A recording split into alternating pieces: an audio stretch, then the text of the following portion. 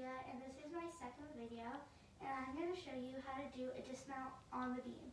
So it's pretty simple. So first you just want to handstand and then down. And here I'll show you again.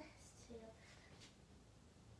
just like that. And then for the twist, you're going to do this and turn just like that. And I'll show you over time. And then to get ready for the twist, if you like don't really feel comfortable for it, you can do sort of off cartwheel and practice twisting your hand. So because when you fall, well, when you twist, you want to make sure that you move your hand like that. Otherwise, you could just like fall backwards. And we don't want that to happen. So I'll show you it all here. So handstand, stop down, and then the twist.